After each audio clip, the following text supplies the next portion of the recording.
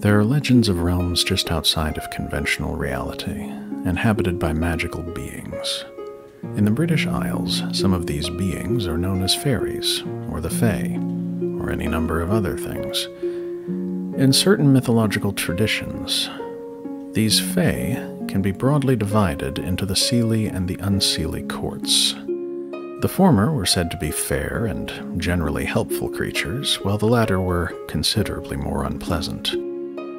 Broadly speaking, this duality can be seen in nature, that is, at times pleasant and hospitable, while at other times it becomes rather dark and nothing short of terrifying. In a narrower sense, one can see this same curious dichotomy in certain groups of organisms. One such group is the Neuroptera, an order of insects that includes creatures like lacewings and antlions. The adult insects in this group tend to be elegant looking creatures bearing wings that are intricately patterned with delicate networks of veins. They often have a slender, graceful quality about them, almost otherworldly at times. In contrast, the larval stages are nothing less than nightmarish, with appearances and habits that would not be out of place in the most feverish hellscapes of Hieronymus Bosch.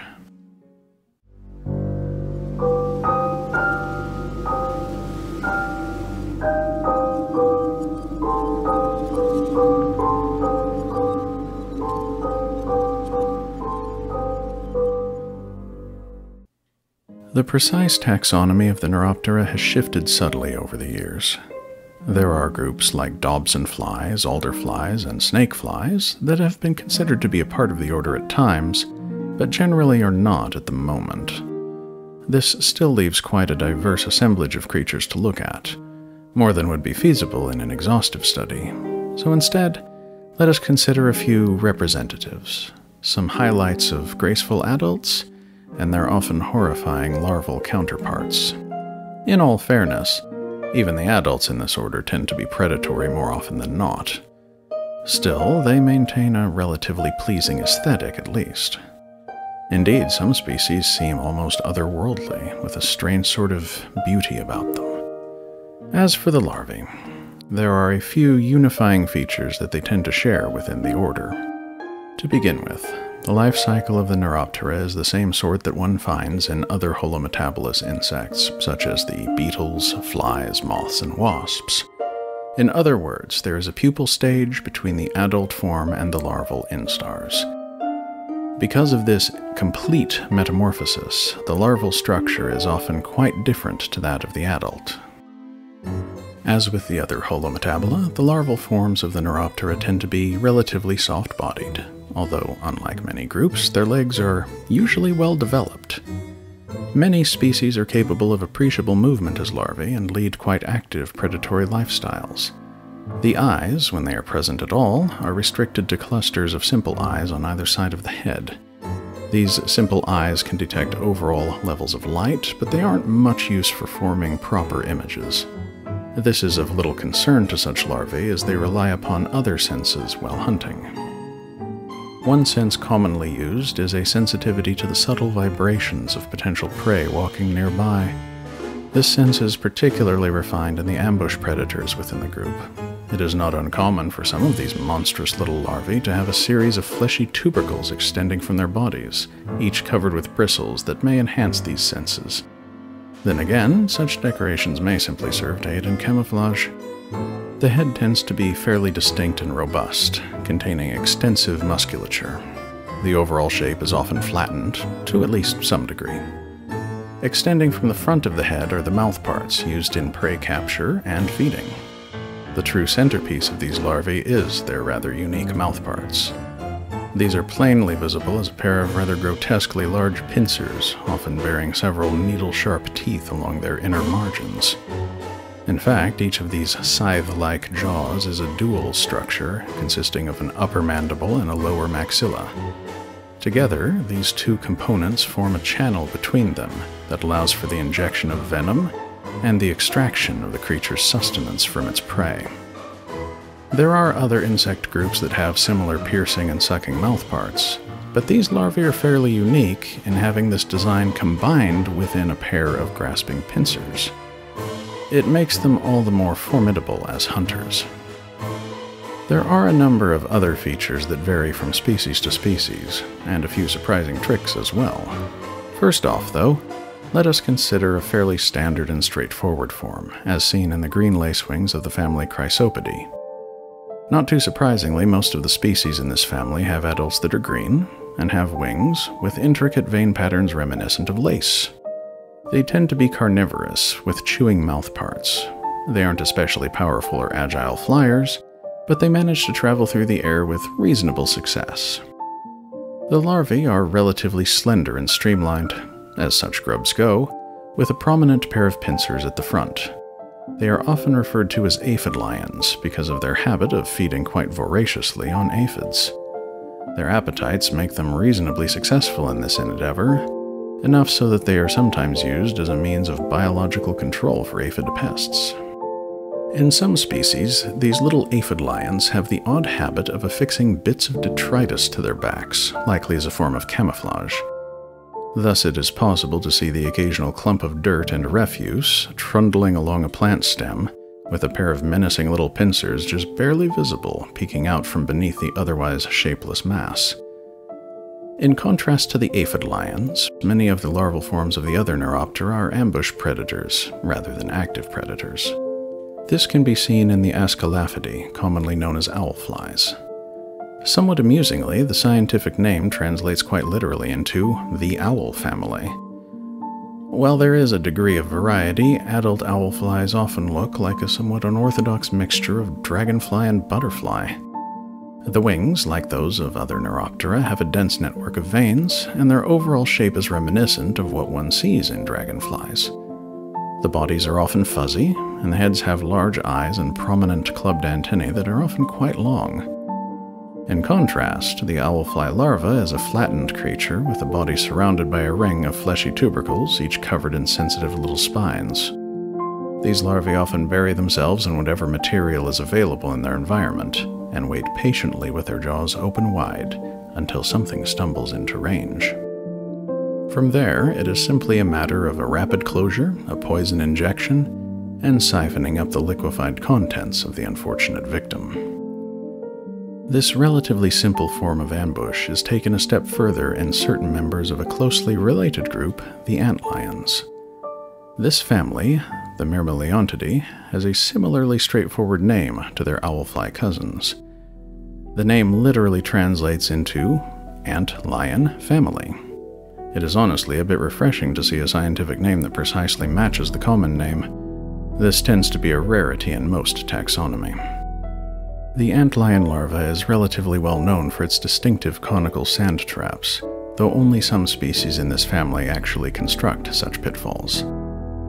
The larva itself is not often seen above ground, as it has a habit of burrowing into sandy soil whenever possible. The burrowing method is perhaps a little unexpected, as the antlion larva moves backward through the sand. Indeed, it tends to prefer moving backwards above ground as well, at least when escaping from the curious attentions of an aspiring entomologist. This backwards locomotion is not without its purpose during the construction of a pitfall.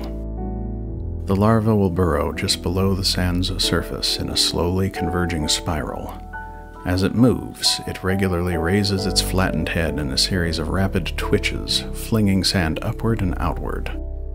As this pattern continues, the conical pit begins to form with a slowly diminishing pile of sand at its center. When the larva reaches the middle, it settles in to wait, with only its jaws protruding above the surface. The approach of unwary prey is perceived by the larva with mechanisms sensitive enough to detect the footsteps of a passing ant if a creature of suitable size falls into the pit, it quickly finds itself at the bottom, and is often seized immediately in the predator's jaws. However, some prey is agile enough, or fortunate enough, to not fall immediately to its doom.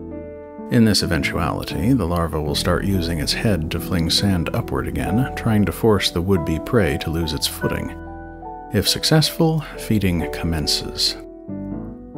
After the injection of a potent enzymatic cocktail through both of these pincers, the larva slowly slurps up the liquefying innards of its victim. Eventually, all that remains is a desiccated exoskeleton, just an empty husk, lightweight enough to be easily ejected with another twitch of the creature's head. When the larva has grown sufficiently and passed through several molts, it burrows down a little deeper and begins to spin a cocoon around itself. This cocoon is roughly spherical in shape and inevitably incorporates quite a few grains of the surrounding sand. Within this inner sanctum, the creature pupates, undergoing the radical transformation into the adult antlion. The adult frees itself from the silken chamber and burrows upward and out into the open. From there, it will often seek a convenient twig or blade of grass to climb and extend its wings. The final result is a creature that looks quite similar to a damselfly, with a couple of important differences. First, the wings of an adult antlion are folded flat against its body. A damselfly is not capable of such a feat, and its wings rest above its back, pressed flat against one another in a vertical plane. The second difference, apart from a few subtle anatomical details, is the presence of a pair of short but quite prominent antennae. These antennae are distinctly clubbed. In contrast, a damselfly has only a pair of slender bristles for antennae. As strange as the antlion's larval life is, there are other Neuroptera with still more unusual or convoluted existences.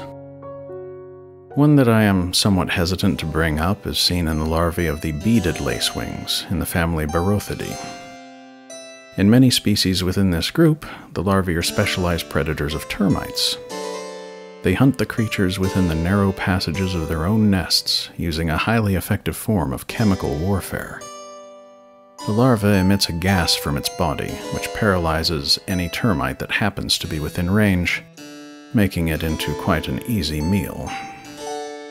As it turns out, this gas is emitted from a very particular orifice on the larva. The curious investigator may be able to find further references to the lethal flatulence of these lacewing larvae. As for me, I am content to move on to the next monstrous little oddity. In the case of some Neuroptera, the larval form may be more parasitic than predatory. This is seen in some of the species of the family Mantispidae, the mantid flies. The adults of these species look quite distinctive. It is as though somebody took the head, neck, and front limbs of a praying mantis and affixed them to the body of a lacewing. There are subtle differences, of course, such as the lack of tarsal segments on these grasping forelimbs, in other words, the praying mantis can also use its claws as walking legs, whereas in mantispids, the lack of functional feet means there is no such option. Not that these little creatures are all that troubled over such matters. As it turns out, the larvae of certain mantispid species are specialists in feeding on spider eggs. There are a few variations of this particular strategy, but I will relate what is perhaps the most daring. Imagine a tiny, newly hatched larva with a form not unlike that of an aphid lion.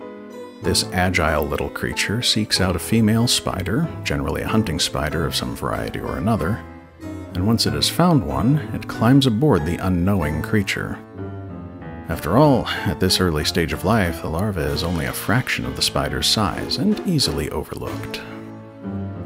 The larva will ride for a time on the spider, waiting with an unnerving sort of patience. If it requires sustenance during this time, it will pierce the spider's exoskeleton to imbibe a bit of hemolymph every so often. It's small enough that the spider is merely inconvenienced. Possibly, if the size disparity is sufficient, the little larva may even crawl inside the book lungs of the spider.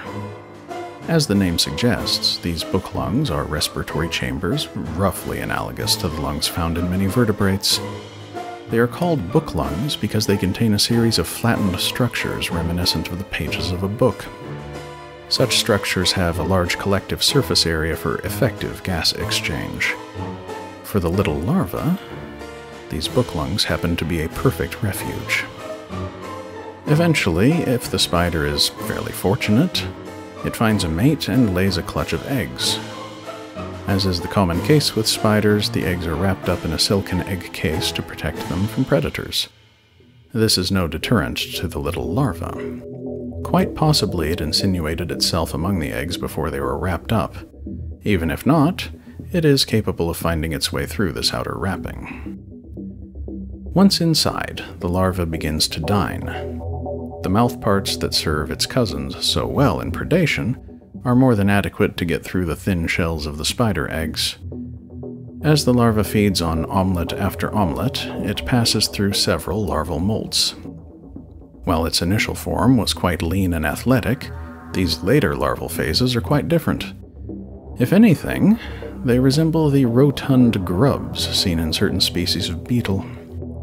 This grub still has its piercing, siphoning mouthparts, though, and makes short work of all of the spider eggs in due time. Eventually, it pupates within the conveniently provided silken cocoon that was meant to serve as an egg case. Then, after a time, it hatches out as a fully grown mantid fly. As strange as this life cycle is, there is another form of parasite that is perhaps even more unexpected in this group. The spongilla flies in the family Sisyridae have aquatic larvae. The adult females tend to lay their eggs on leaves or branches above water, and the larvae fall into the water upon hatching. As one might guess from the common name, these larvae specialize in feeding upon freshwater sponges. That and freshwater bryozoans. The piercing mouthparts are employed to parasitically extract vital fluids from these sessile and relatively defenseless hosts. During pupation, the little spongillafly larva spins a cocoon that consists of two main layers. The inner layer is much like that seen in many other species of insect, consisting of a fairly sturdy enclosure of spun silk. The outer layer is far more diffuse. While details vary between species, it is often net-like and quite distinct and separate from the inner layer. The effect is something akin to a small pearl inside of a delicate cage. Last but not least, let us consider the family Nemopteridae. In the case of this group, the adults are at least as strange as the larvae. They have two pairs of wings, like all Neuroptera. However, the front pair is quite different from the hind pair. The front wings are much like those seen in lacewings, if perhaps a bit more broad. The hind wings are long and thin and tend to drag out behind the creature as it flies. Within this family, there are two subfamilies. The Crocinae tend to have particularly narrow hind wings, while the Nemopterinae are more variable. Some species in this latter family have hind wings that are expanded into large, flamboyant structures, which may serve to confuse predators or possibly attract mates.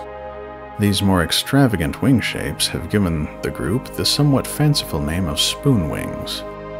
To return to the Crocinae, the adult forms are perhaps less impressive than those found in their sister group, but the larval forms are positively bizarre. The larva looks much like that of an antlion, but for one crucial and remarkable difference. The head of the larva is separated from its body by a long, narrow neck. In the more extreme species, this neck may be as long as the rest of the body. These almost hallucinogenic creatures tend to bury themselves shallowly in secluded places, lurking just below the surface as they wait for prey to pass near enough. When they find a suitable victim, they treat it much as any ambushing larva might, securing it in their jaws, injecting venom, and extracting a liquid meal. All the while, the long neck keeps the prey well away from the soft, potentially vulnerable body. The neck is so narrow that it is just as well that the creature lives on a liquid diet. One could hardly imagine it being able to move solids down such a lengthy and narrow passage with any degree of reliability. The larvae of Neuroptera are most often nightmarish creatures, and one could scarcely imagine what they become when they reach adulthood. Still, their ugliness belies a rather effective body plan, as they tend to be quite successful hunters. There is a certain beauty in this efficacy, even if it is a strange and ruthless sort of beauty. So perhaps, just perhaps, in their monstrous way, they are every bit as lovely as their adult counterparts. This concludes today's little foray into the unknown. For those who are still curious, here are a few things you might try looking into further. If you found this enjoyable, by all means say so. If you think others might enjoy this, by all means share.